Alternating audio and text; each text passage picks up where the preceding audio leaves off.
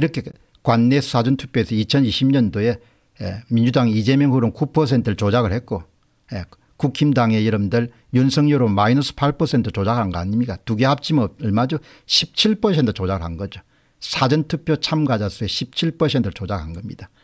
그래서 전국의 그래프가 이렇게 나오는 거 아닙니까 3구 대선에서 18개 시 광역시에서 이런 그래프가 어떻게 나옵니까 우편투표는 얼마나 조작했습니까 음.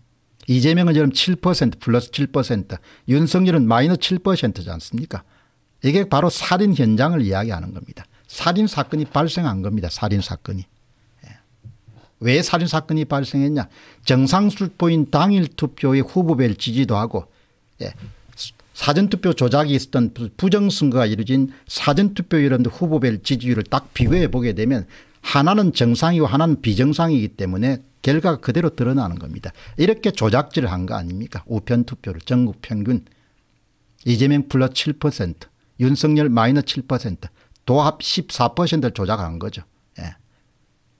관내 사전투표 얼마를 조작했습니까 이재명 플러스 7, 9% 윤석열 마이너스 8% 아마 심상정이 마이너스 1% 해가지고 두 개 합치게 되면 플러스 9 마이너스 9 대가 18%총 조작을 했겠죠.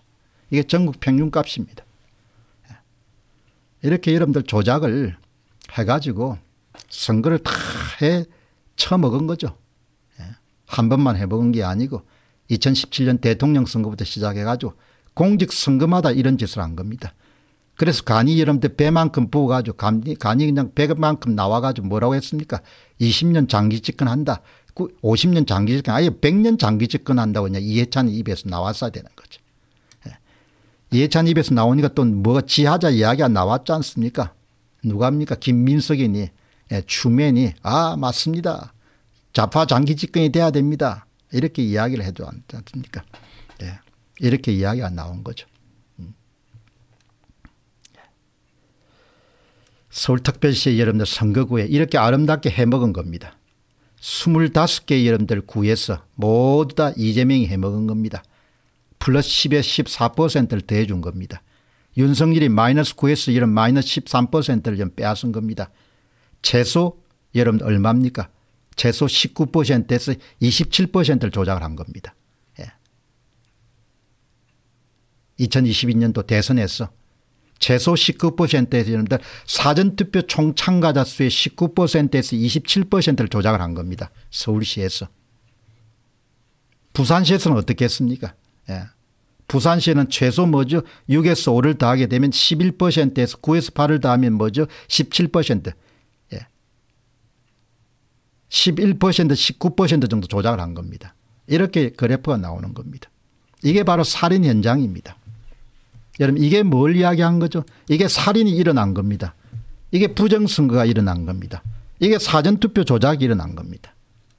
예. 이렇게 여러분들 이게 서울시에서 3월 9일 날 이런 대통령 선거에서 이런 부정이 일어난 겁니다.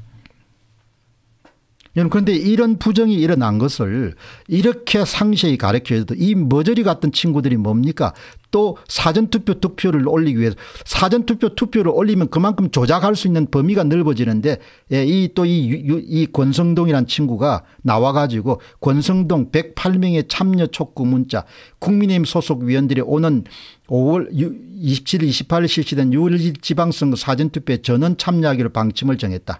지방선거는 보통 대선이나 총선보다 투표율이 낮은 만큼 지지층을 얼마나 투표장에 끌어내냐가 성패를 좌우할 것처럼 판단했었다.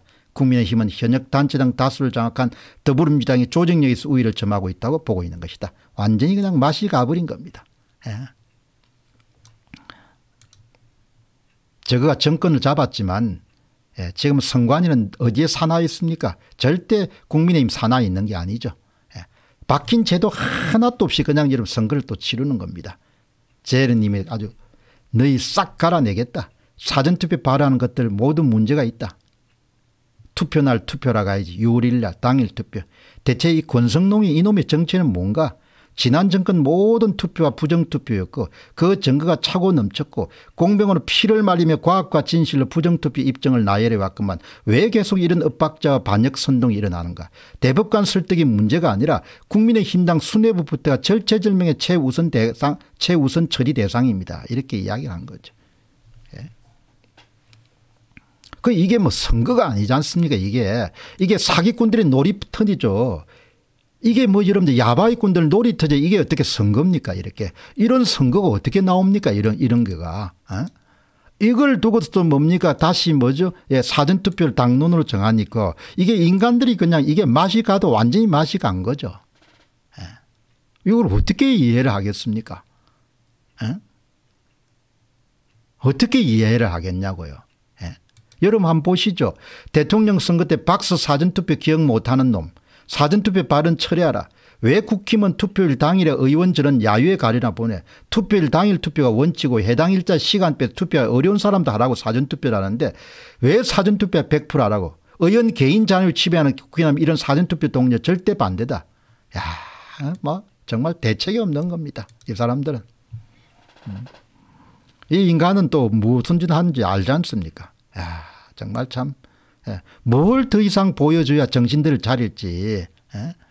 서울에서 이런 결과가 나왔는데도 사전투표 참가자 수의 일정 퍼센트를 투표소 레벨에서 다 조작을 한 거 아닙니까? 에? 그 사전투표 참가자 수가 늘어나면 늘어날수록 조작 표수가 훨씬 커지는 거잖아요.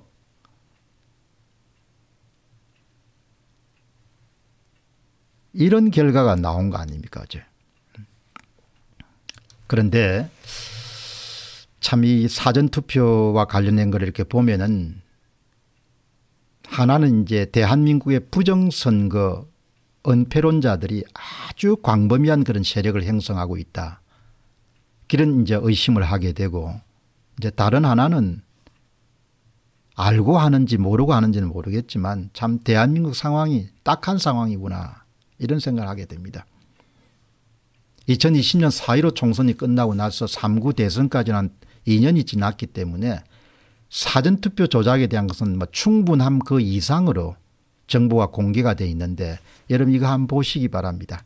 이게 3구 대선 이전에 대한민국의 조선일보, 중앙일보, 동아일보의 사설 논조입니다. 3월 2일입니다.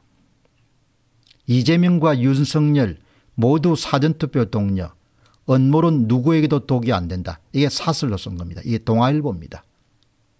그게 대한민국의 주요 언론들이 모두 다 부정선거의 공범자가 돼버린 겁니다. 사전투표를 바로 앞둔 시점에서 동아일보와 사설이 사전투표를 독려하는 사설이 실린 겁니다. 이틀 후인 3월 4일 날 조선일보는 아마 사전투표일 아침일 겁니다. 사설에서 코로나 사태 속의 대선 적극적으로 사전투표해야 된다. 이게 조선일보 사설입니다. 여러분 3월 3일입니다. 일제히 3월 2일 3월 3일 3월 4일 날 중앙일보입니다. 근거 없는 선거 조작 의혹 사전투표 피할 이유가 없다. 여러분 이게 지금 뭡니까 이게 대한민국에 상당히 많은 실상을 이렇게 이야기합니다. 대한민국의 부정선거 은폐 세력들이 엄청나게 광대한 그런 자리를 차지하고 있는 겁니다. 3월 2일과 3월 3일과 3월 4일 날 3구 대선을 앞두고 사전투표 전날 사전투표 당일날 조선일보 중앙일보 동아일보가 모두 다 사전투표를 독려하는 그런 종류의 사설을 실은 겁니다. 엄청나게 문제가 심각한 겁니다. 예? 이 보통 심각한 문제가 아닙니다. 이게. 동아조선 중앙이 동시에 뭐죠 약간의 시차를 두고 3구 대선의 사전투표일 날 이렇게 사전투표를 독려하는 이런 사설을 실은 겁니다.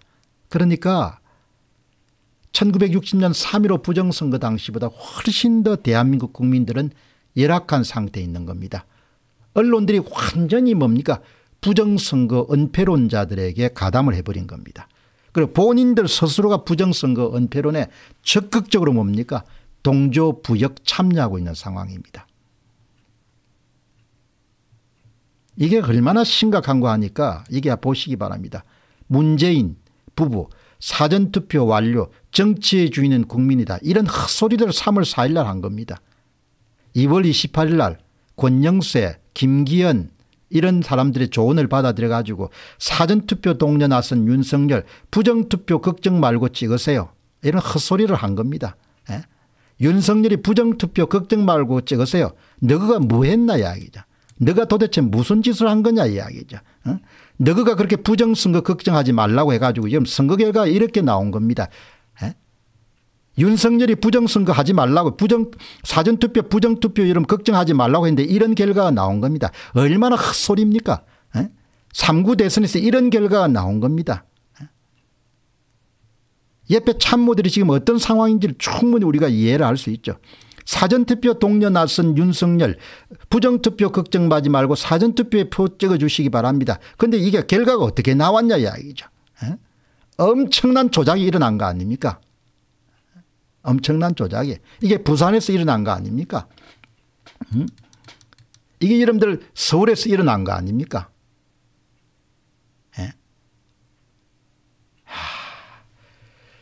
글사인님이 윤석열이 부정선거로 국민을 확정 판결 전에 애간장 타는데 뭐 하는지 모르겠다. 예. 이런 이야기가 나오는 겁니다. 김명재님은 나라가 망한 것입니다. 망한 거죠.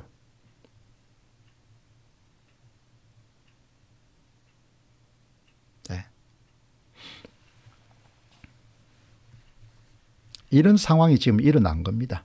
자기 표가 이렇게 절도를 당했는데 자기 표가 절도를 당한 것을 이렇게 사람들이 외치는데 예? 그게 외면을 하면 어떻게 되냐 이야기죠. 심지어 전라도까지 다 여러분들 해먹었는데 예? 이게 뭡니까 전국 시도에서 다 이렇게 해 먹었는데 응? 이걸 어떻게 여러분들 입을 입을 다물자고 하냐 이야기죠. 예? 정말 참 예. 한국의 대법관들, 검찰들, 정치인들 이렇게 부패하고 이렇게 썩어 문드는지를 예, 옛날엔 생업에 바빴으니까 뭐 알아서 다 잘 안 하겠나 예, 그렇게 생각했는데 지금 이런 것을 보게 되면 정말 참담한 거죠.